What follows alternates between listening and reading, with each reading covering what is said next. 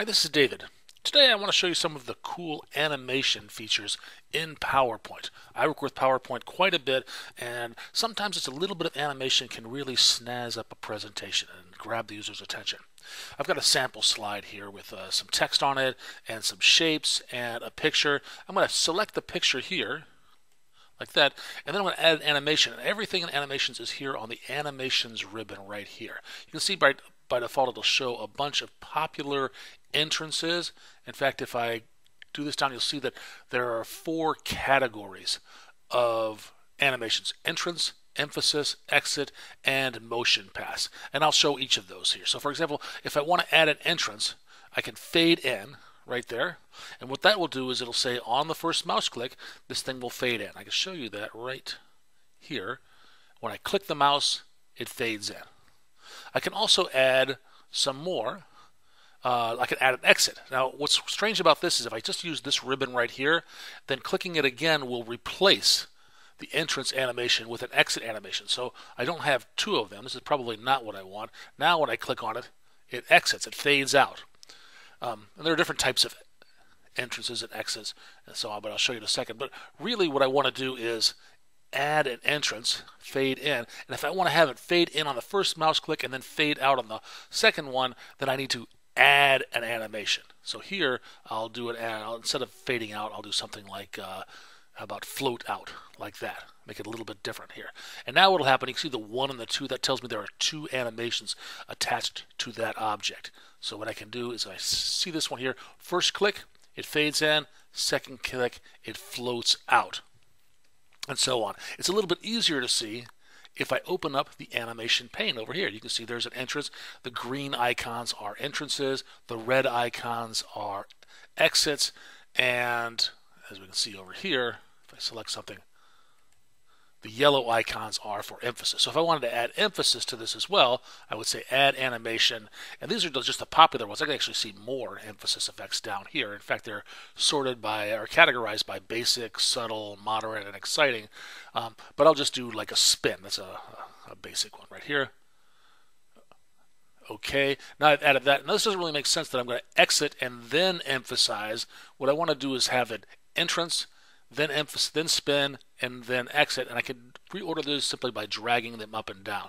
So now what will happen is that is if I play this thing here, first click, I fade in, second click, I get the spin emphasis, and the third click, it'll fade out.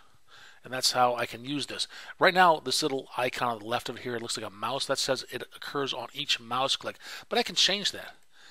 If I set this drop down here, instead of start on click the default, I can say start with previous or start after previous. In this case,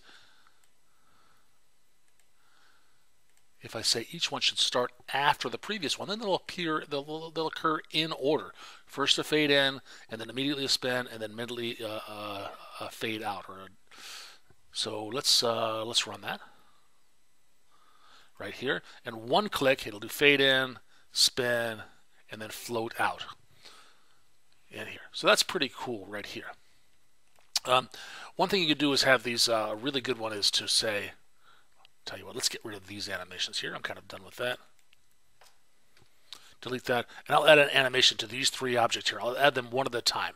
The first animation, I'm going to say I want to, um, I'll say fly in, like this, and you get a little preview of that happening here.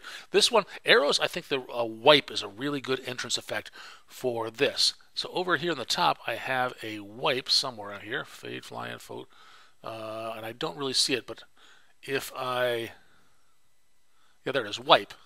And the wipe doesn't make sense this way. What I really want to do is when I when this happens, click there. I don't want to wipe that. I want to wipe from the left to the right because that's the way the arrow was pointing. And I can do that because in each one of these there are options. Under effect options, I can say in the case of a wipe, it's from the left.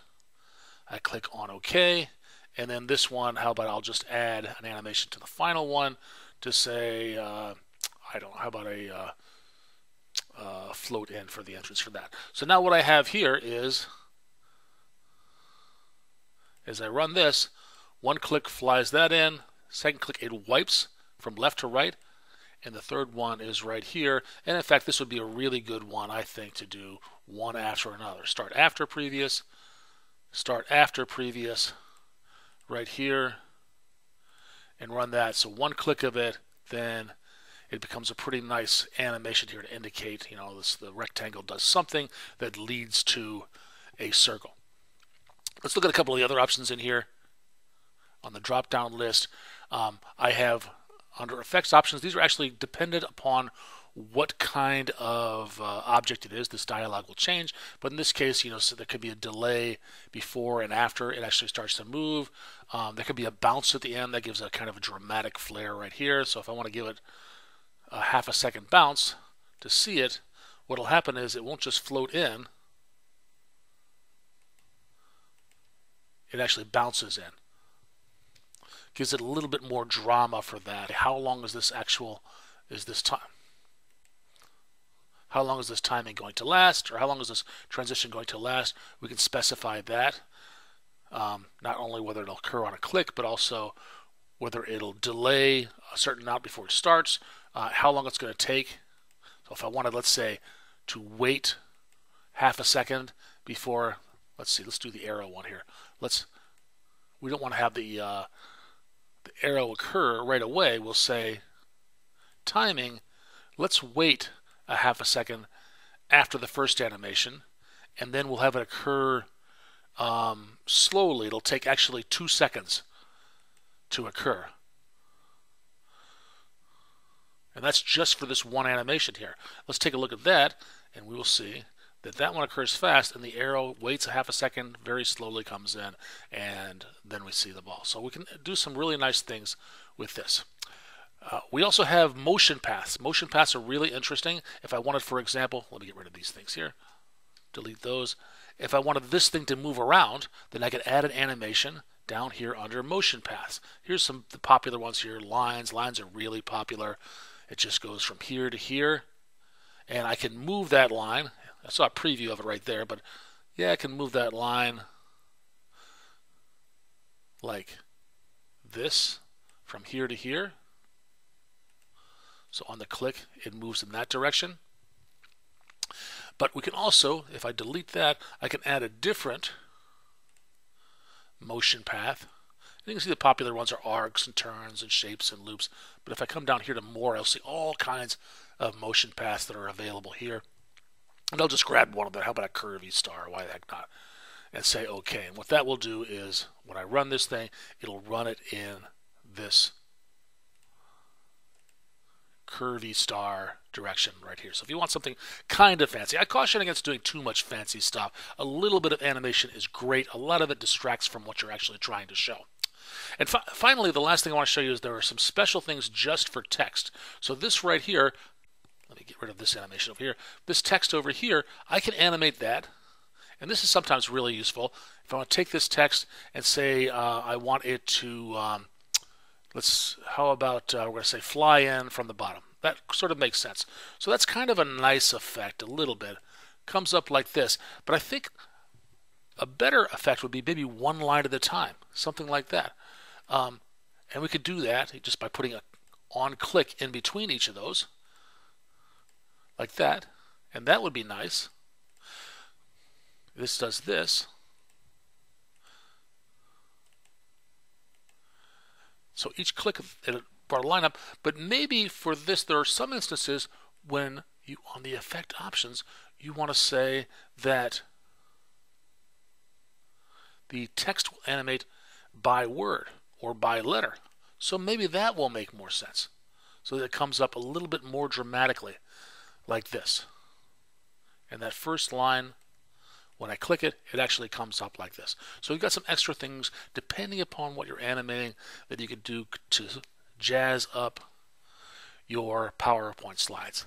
Um, so a little bit of this, what I, I would suggest to you is take a look, just create your PowerPoint decks, uh, add the pictures, add the text, get them all ready, get the content, the information you want to uh, convey, and then when you're done with that, look for little places where animation would make a little bit more sense. Maybe a flow chart. I use this a lot where I have some kind of a flow chart where I say, here's part one, I could talk about this component, and then the process right here, and then it leads to that. And sometimes it makes sense for these to be revealed as I'm talking about them and really emphasize the direction of flow by animating these things in the right direction.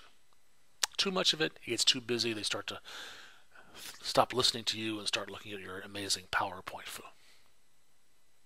Have fun with this. I know I did. This is David. Thank you for watching.